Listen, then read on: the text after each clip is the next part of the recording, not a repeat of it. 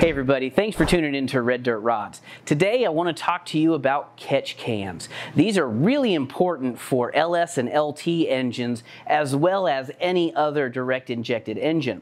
The biggest problem is that direct injected engines don't have fuel washing over the intake valves. So your PCV system is pulling out oil vapor from the crankcase that goes through the intake. In a non-DI engine, fuel washes over those intake valves and knocks off the carbon that shows up from the oil. In a DI engine, there is no fuel going through the intake at all, and those intake valves get coated. GM Gen 5 LT series engines generate a lot of oil vapor they get a ton of carbon coking on the intake valves to the point that they will start sticking in as little as 5,000 miles. You can solve this issue by installing a catch can. This is an Earl's catch can that we picked up from Holley along with these Earl's fittings, a breather, and some super stock hose. And we're gonna show you how to install this on a Gen 5 LT1 so you can do it for your project. On GM Gen 5 LT series engines, there are two halves of the PCV system. So there's the dirty side, which is the valley cover underneath the intake that runs, that's the actual PCV valve and then it runs to just behind the throttle body on the intake. The clean side of the PCV system is on the top of the valve covers. Now there's no valve there, it's just a baffled hole. And those two hoses run to the air intake tube to ensure that it's metered air and that flows into the engine. Now that part of the system works in two ways. The clean side goes from vacuum to pressure under different conditions. So at cruise and part throttle, it's pulling vacuum. At wide open throttle and heavy acceleration, it's actually your clean air entry. We're going to eliminate that on our LT1 with this filter. This is a replacement for the oil filler. So this threads into the valve cover. We put this little adapter here. And then the air filter goes right here so that your engine can have fresh, clean air coming in. The catch can will be the only part of the system that actually has vacuum. We're going to run our catch can on the actual PCV valve in between the valley cover and the throttle body. We're gonna mount this in front of the radiator just to keep things clean under the hood, run a dash 8 and dash 6 line to our valley cover and throttle body. We're to do it all with Earl's Plumbing. Let's get started. All right, so we're here on my 71 Buick GS. So this is the vacuum fitting on our atomic air intake. And this is the quick connect fitting that we're gonna use for the vacuum. This looks just like a GM quick connect for fuel, which is 3 8 but it's not. It's actually 10 millimeter and they do not fit. You can drill the inside of this out and replace the 3 8 O-rings with 10 millimeter O-rings, which is what I have done here. And then that just snaps on. So this down here, this fitting right here, this is a 10 millimeter fitting. We're using a dash 8 on this side. This is the actual PCV valve in the valve cover. Again, just going to take that quick connect, snap it right in place. So this is our Earl's catch can. It comes with some really large ports, but we don't need it to be that big. So I have this dash 6 adapter from Earl's and on this one a dash 8. I would have used the same size, but I can't get this fitting in a Dash 6. So you can see with our supercharger and all this stuff, we're pretty cluttered under the hood. And I want to clean that up. So we're going to actually move this out front. We're going to put it on our grill support. So we're actually going to mount this right here. That'll give us easy access to the drain port, which we can put a bung on and put a little hose coming down. So it'll be nice and clean and it'll be out of the way. So what I'm gonna do, take a Sharpie and I'm gonna mark it there. And I'm gonna lower it a little bit. I'm gonna go ahead and lower it. So this grill support has been modified, so I wanna find the right spot. So I'm gonna go ahead and mark it here. We'll put a straight edge. We'll make sure these are level. I've just got the grill just kind of sitting in here for a mock-up to make sure that we have clearance. And I'm just gonna carefully pull this out. Uh, ah, there we go. Set this aside. We don't have to pull this out. We could do this on the car, but I'm just gonna go ahead and pull it out anyways. It's two bolts. Okay, let's go to the bench. So I already know that this is fully vertical. Put our straight up edge up against it and we're maybe a 16th of an inch off. I'm gonna go ahead and remark right on the center. I'm going to drill this out and install some riv nuts to make this clean. So we're going to install some quarter 20 riv nuts. In order to do that, I need to open these up to 3 eighths of an inch, which we're going to do in a couple of stages. I've already drilled it out with an eighth inch pilot. Now we're going to drill it out with 5 sixteenths.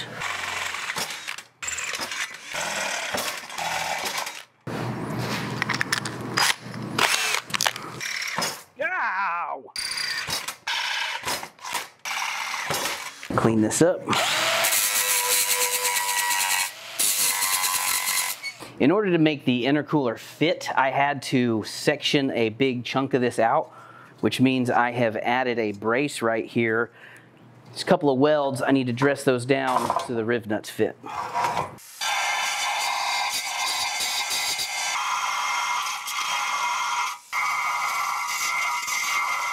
All of this is gonna get disassembled some point in the future when we redo the uh, underhood of the car because the firewall needs painted, a bunch of other work.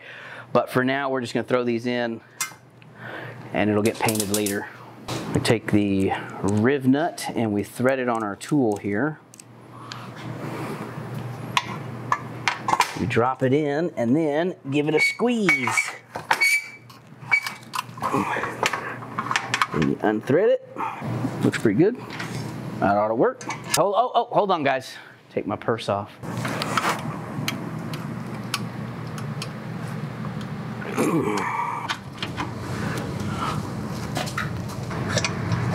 now we're going to take our catch can. I'm using a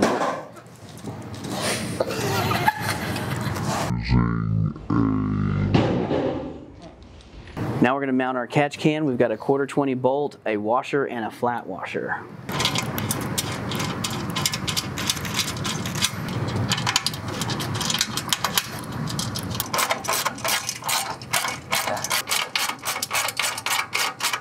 Catch can's mounted, all we gotta do, run the lines. Now we're gonna install the breather. So over here, we're just gonna take this cap off.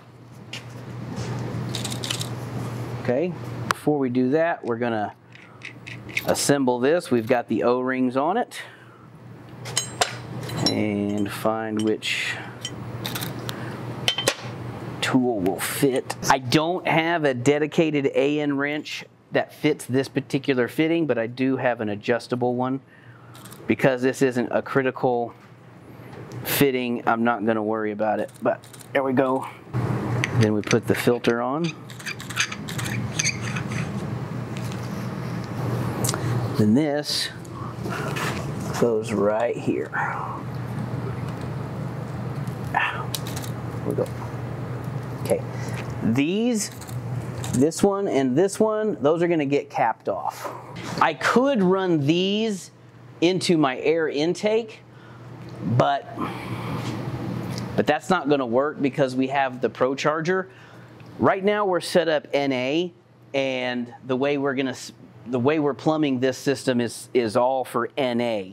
So if you're running an NA car, you could go ahead and connect to these and run those to your air intake they will work as they're supposed to. But because I have boost, this is going to eventually run over into our intercooler and be boosted and I can't have pressure coming into the crankcase. So when we go boost, This will actually go from here over to the inlet on the supercharger, which will draw constant vacuum and solve the issue. But for now, we're just gonna cap these off because we don't need them. Now we need to make our lines. We've got a length of Earl's half inch super stock hose. This is Earl's assembly lube. Just gonna put a bit of this on the fitting. We take this, we just hold the fitting, the hose, and just push that on. Do you need to put a hose clamp on that? Nope. Yeah. Nope. Oh. The beauty of this is these don't need hose clamps and they're good for 250 psi. If you're going above that, you can put a crimp on style ferrule, which I have, but I rarely use them because you don't need them. But this is vacuum, so we don't need it at all. So now what we're gonna do is just kind of lightly thread this on, figure out our routing. We're gonna bring this around about here. So I'm gonna go ahead and cut right here. I may have to trim it a little more, but I hope not.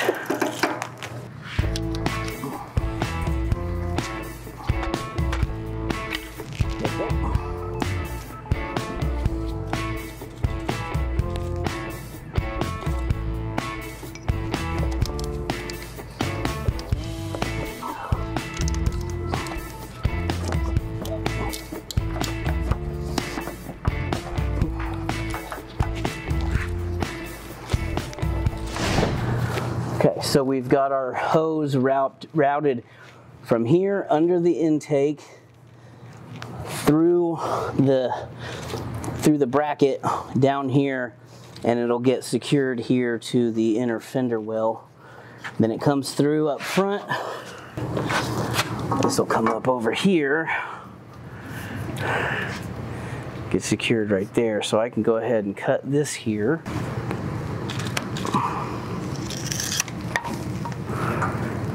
Fitting.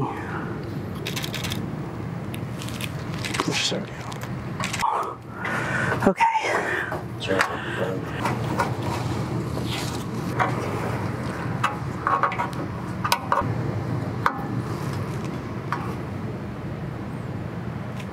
Okay. There we go. Now, 3 8 line. So we've got our 3 8 line routed and it's just gonna come up here, go into a straight fitting like this. So I'm just gonna cut this right here, give myself a little bit of slack. Little lube. Okay, press that in.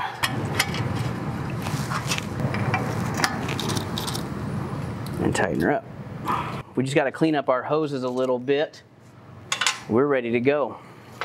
That's all there is to installing an Earl's catch can. Make sure you like and subscribe. We'll see you next time. Let's make magic.